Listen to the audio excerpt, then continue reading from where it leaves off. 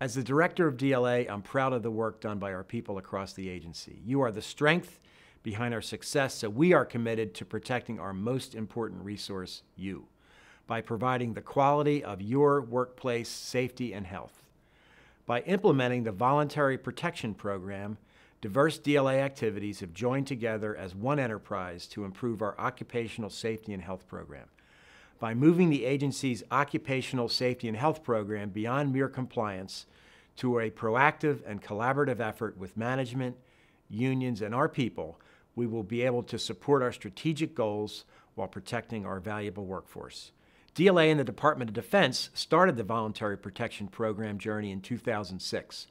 Both DLA and DoD remain committed to this program. It is a proven and effective way to reduce workplace injuries and illnesses. VPP is the tool DLA will use to achieve safety excellence and meet the DoD goal of zero preventable accidents. In this video, you will hear from other DLA leaders who have been personally involved with VPP. Each has a unique perspective and an experience to share. The VPP is making a difference at these DLA work sites, and with your involvement and commitment, it will make a difference in yours. And as they say at the distribution depot in Norfolk, if it's not safe, don't do it.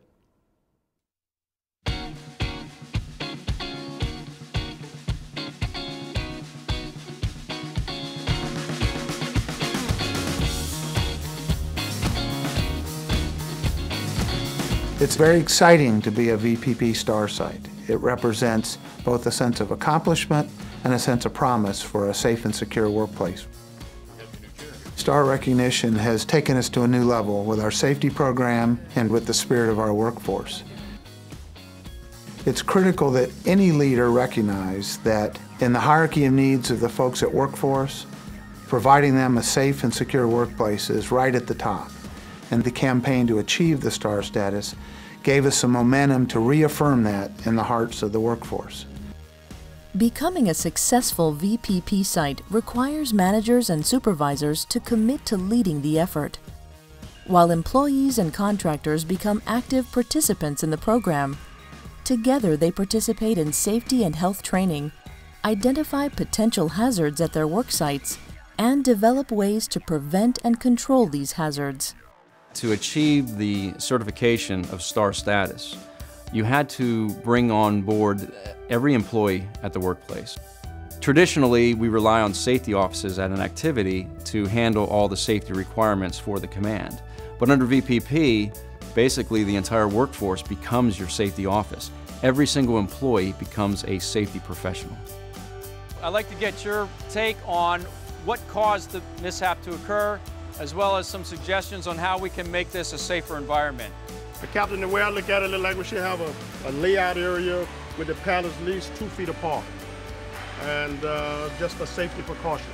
All right, what else? What else uh, do we need to discuss? Well, Captain, I think that um, when you're trying to complete your mission, you always have to be mindful of your surroundings and watch where you're walking because an accident can happen at any time. Great point. Awareness training.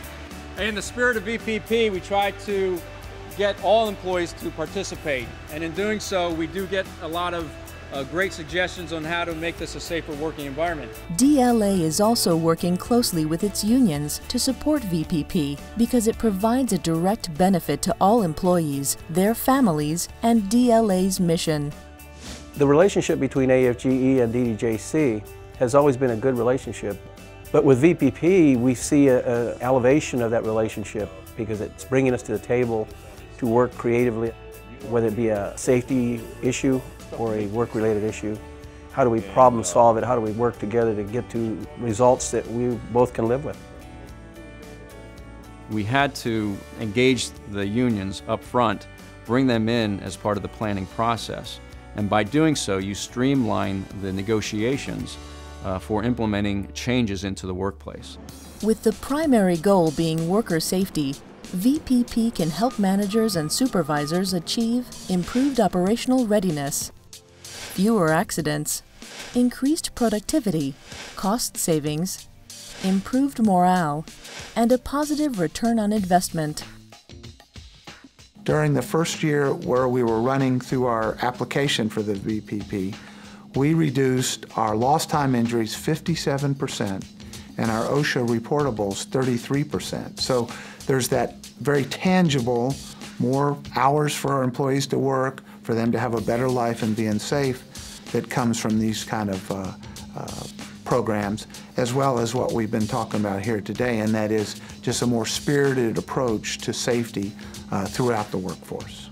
We've seen some significant uh, positive results as uh, we proceed through the VPP program. For example, in 2006, prior to implementing the program, our injury rate was roughly 5%. So out of every 100 employees, we were averaging about five injuries of lost time every year. In 2007, when we commenced the process, we started to see a drop in that rate. In 2008, we cut the rate in half by 50%. And now in 2009, we are on track to cut that by an additional 50%. So the results are significant. VPP is not just a tool for management or a set of health and safety rules for everyone to follow. It's a change in mindset, a culture shift. That's what helps make the program so successful. If I was to try to summarize the, the overall impact of the VPP program, I'd have to say it's enlivening the workforce and building that spirit of safety among each and every person out there. High up on that ladder, and I was hoping you could step down just a little to stay safe. State. Kind of reminds me of the old saying, if you tell me, I forget. If you show me, I remember. If you involve me, I commit. We really feel like the workforce is committed to safety, much more so than previous to the VPP program. It really becomes a way of life. And the way I like to describe it is that uh, we insert safety into every single process, every single procedure at the depot. For many employees, their primary focus is to complete the mission and provide service to the warfighter. With VPP, many managers motivate their employees to go the extra mile and take extra steps to make safety a priority in everything they do.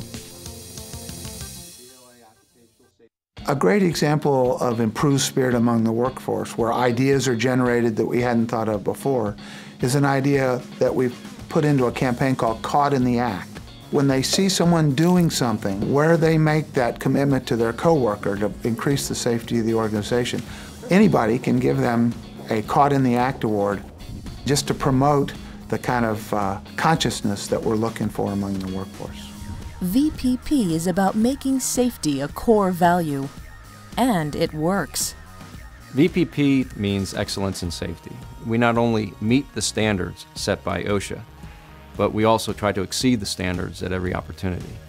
And that's with the ultimate goal of mitigating hazards or eliminating hazards at the workplace, as well as shooting for zero injuries or accidents uh, year over year.